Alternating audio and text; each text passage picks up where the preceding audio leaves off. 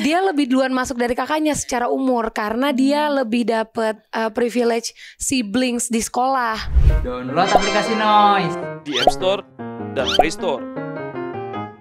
Download sekarang.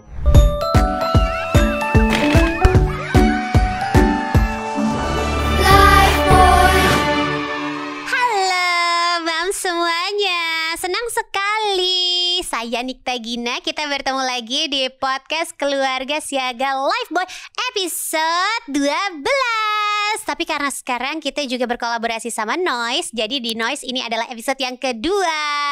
Pokoknya buat moms nih nggak bosan-bosannya loh aku untuk selalu mengingatkan untuk follow Instagramnya Lifeboy untuk bisa dapat informasi-informasi terupdate ya di @lifeboyid dan juga subscribe YouTube channelnya Lifeboy di Lifeboy ID supaya nanti kalau misalnya ada episode baru dari podcast keluarga siaga Lifeboy, how moms langsung tahu dan bisa menjadi yang terdepan gitu untuk nontonnya.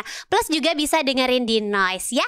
Nah sekarang ini kita akan ngobrol ini pembahasan yang aduh pelik banget satu bulan yang lalu. Mungkin orang tua orang tua terutama moms ini lagi sibuk-sibuknya ngurusin anak sekolah. Termasuk saya karena anak saya baru masuk SD ya kan?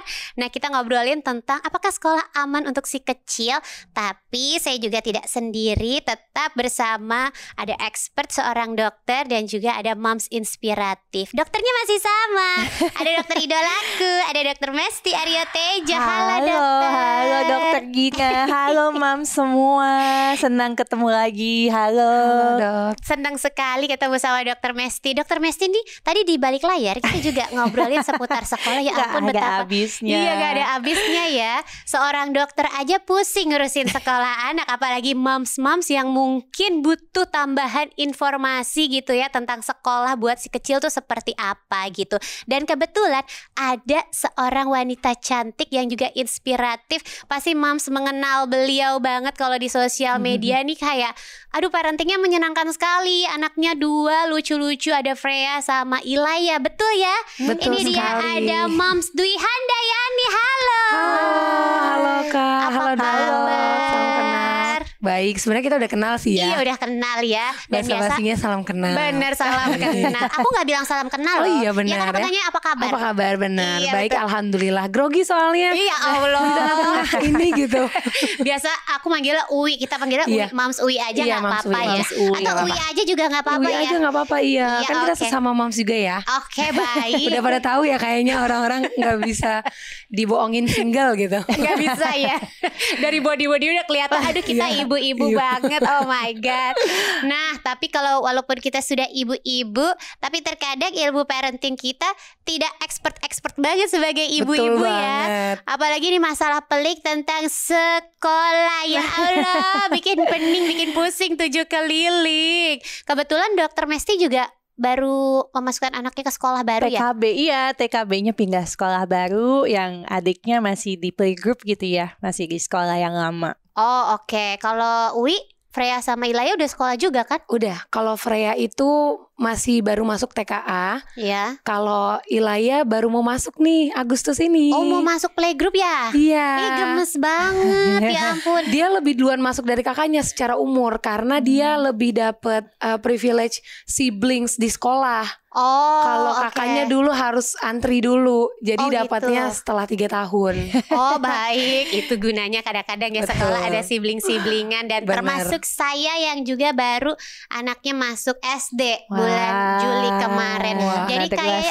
Iya benar Jadi kayaknya kita masalahnya sama ya Yap. Bisa saling Betul. ngobrol satu sama lain Sekolah tuh menurut aku kayak Mencari sekolah yang tepat buat Iya. anak Sulit sekali Kalau bisa nih satu Jakarta aku jelajahi untuk mencari sekolah banget, gitu Bener itu kan yang ya dok ya. Bener ya?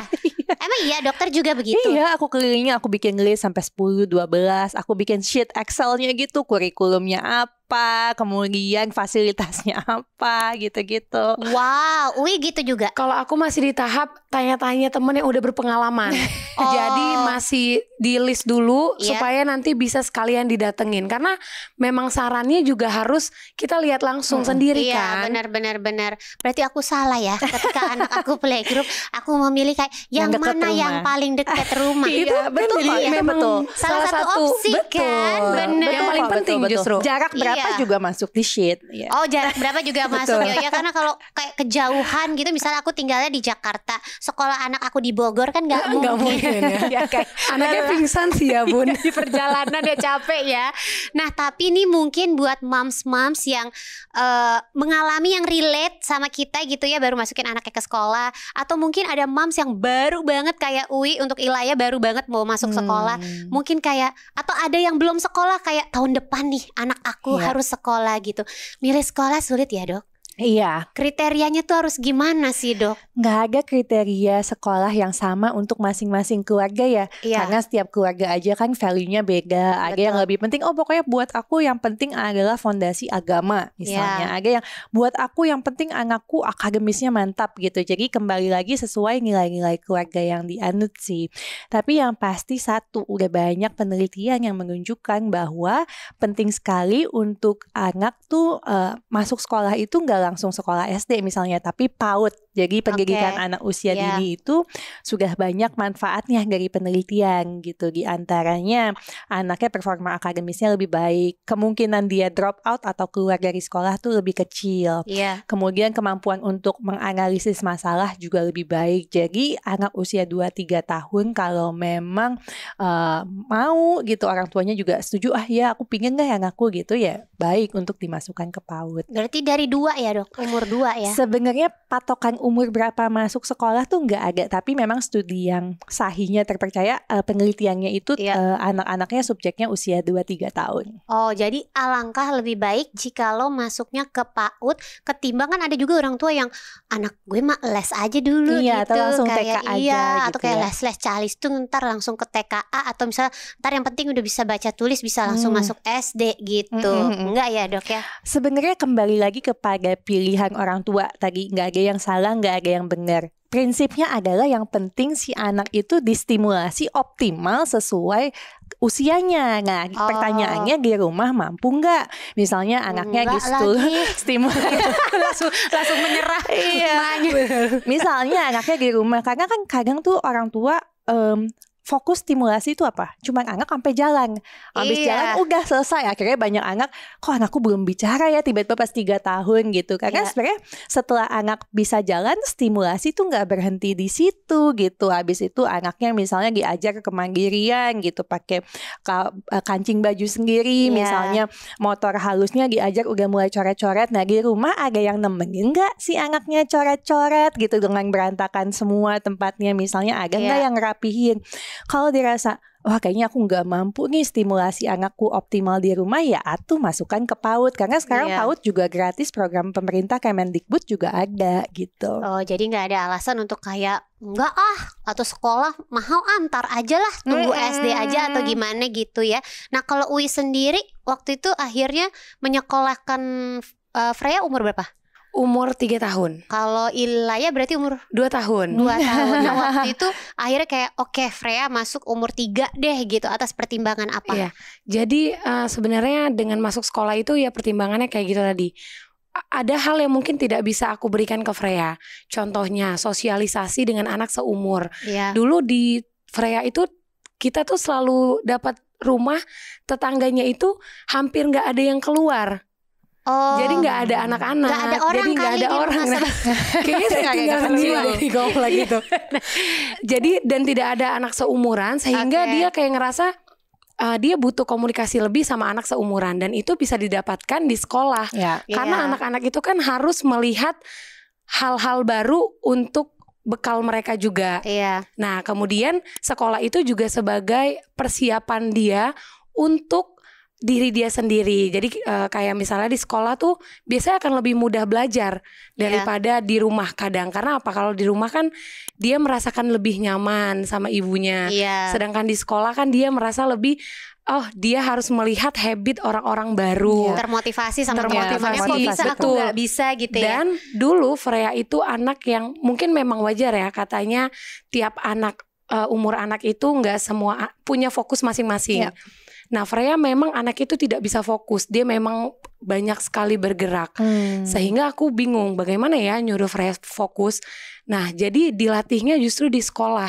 Karena kan di sekolah itu dia ada momen-momen dia akan melihat teman-temannya kok dia bisa ya duduk lama kayak gitu gitu. Iya. Dan iya, benar dalam waktu satu tahun banyak banget perubahan yang aku rasain tentang Mm-mm. Freya dan dia jadi merasa lebih siap dan matang untuk dirinya sendiri. Hmm. Kalau untuk eh, berkaitan sama kesehatan nih dok, Hmm. apalagi ini kan momennya kayak ya bisa dibilang kayak pandemi sudah mulai eh, ini sih long udah mulai nggak ada ya bisa dibilang udah nggak pandemi lagi gitu kayak udah mulai longgar udah mulai kayak kembali situasinya normal seperti dulu gitu Hmm. tapi kan ya namanya sekolah ya Ya. anak saya bisa kayak hari ini batuk terus sembuh dua minggu kemudian batuk lagi gitu kayak penularan dari teman-temannya di sekolah Hmm. higien apa ya hygiene juga harus di ini kan dok diutamakan gitu Iya, aku rasa anak lulusan pandemi sih kayaknya pada lancar sih ya Bun ya bahwa Iya, iya, tiap benar, ganti sama anakku juga sekarang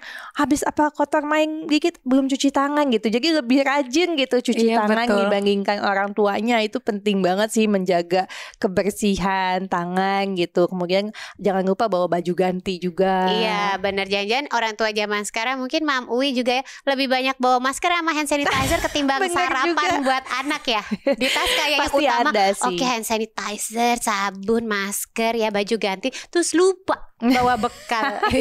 Ini baru kejadian tadi pagi bekalnya ketinggalan di mobil. Ya Kalau Uwi termasuk kayak gitu gak sih? Kayak perintilan Harus yang dibawa ke sekolah tuh harus ada ini, ini, ini, ini Wajib gitu di tas. Eh, kalau misalnya di sekolahnya Freya kan kasihan ya kalau terlalu banyak juga. Dia kan harus pakai tas sendiri kan. Kalau di Iya. sekolah itu eh, memang untuk melatihkan kesiapannya Freya supaya dia siap bisa buka sepatu sendiri, kaos kaki sendiri, Iya. taruh di tempatnya, terus bawa tas sendiri. Itu Iya. beneran pas udah nyampe gerbang, kita tuh sama sekali nggak boleh membantu mereka. Mereka tuh harus membawa sendiri barang-barang mereka. Ya Nah kalau keberatan kan kasihan ya Bun ya. Kanan kiri pundak Iya. semua penuh ya Nah, sis, jadi kalau bisa ya. dalam satu tas itu aku udah masukin semua supaya Ya. dia udah aman. Nah, biasanya kalau masker kan emang udah dipakai dari rumah. Iya. Terus eh, abis itu dia selalu ingat aku ingetin untuk sering-sering cuci tangan. Kalau Iya. Freya merasa tangannya kotor, baiknya memang cuci tangan apalagi sebelum masukin barang ke mulut atau nggak masukin makanan ke mulut. Ya. Iya Nah sampai sekarang dia bahkan kadang-kadang kalau kita kan udah kebiasaan ya kayak ah cuma gitu doang nggak apa-apa jadi vitamin gitu kan suka Iya, iya, keulang bener, tuh. bener, bener. Aku harus kayak Aku enggak sih Padahal kalau di belakang layar Iya Iya lagi gitu Kadang-kadang kan kayak mau cepet gitu kayak aduh nggak harus cuci tangan lagi ribet. Udah nggak apa-apa tadi cuma pegang dikit gitu Iya, kan. benar. Nah kalau anak sekarang dia kayak mau makan ma tapi tangan aku tadi kotor kayak Iya. Oke yuk kita anterin mau nggak mau kan kita harus karena kan kita, Kita mengajarkan mereka konsisten. juga Iya iya betul betul betul Itu betul. sih yang penting yang harus dia ditanamkan adalah mindset dia untuk selalu menjaga kebersihan. Iya. Iya Ya udah, jadi untuk barang bawaannya memang kalau baju ganti itu memang udah peraturan sekolah juga. Oh jadi emang Ah, harus karena kan dia ya. memang belajar itu bermain juga, Iya, kadang iya. bermain kotor-kotoran, pasir apa gitu. Jadi eh, kalau udah ada spare baju ganti, dia gampang kalau mau ganti baju di sekolah. Jadi pokoknya intinya nggak cuman hanya sekolah, main, belajar, tapi juga tetap harus jaga kesehatan dan juga kebersihan. Salah Iya. satu caranya adalah dengan cuci tangan tangan. ya.